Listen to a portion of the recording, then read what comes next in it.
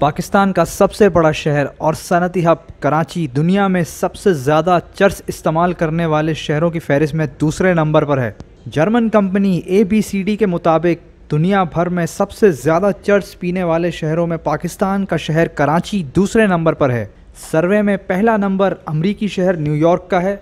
New York में सालाना सतहत्तर अशारिया चवालीस टन से जायद, जबकि कराची में इकतालीस अशारिया पचानवे टन चर्स इस्तेमाल की जाती है। फहरिस्त में अड़तीस अशारिया छब्बीस टन सालाना चर्च की इस्तेमाल के साथ भारतीय दारकूमत नई दिल्ली तीसरे नंबर पर है।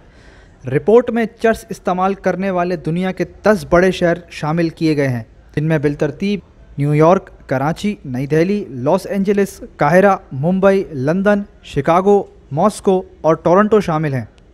हैरत अंगेज़ तौर पर कराची, काहिरा और लंदन में चर्च का इस्तेमाल मुकम्मल तौर पर गैरकानूनी है, जबकि फ़हरिस्त में चौथे नंबर पर आने वाले अमरीकी शहर लॉस एंजल्स में चर्च का इस्तेमाल कानूनी हैसियत रखता है।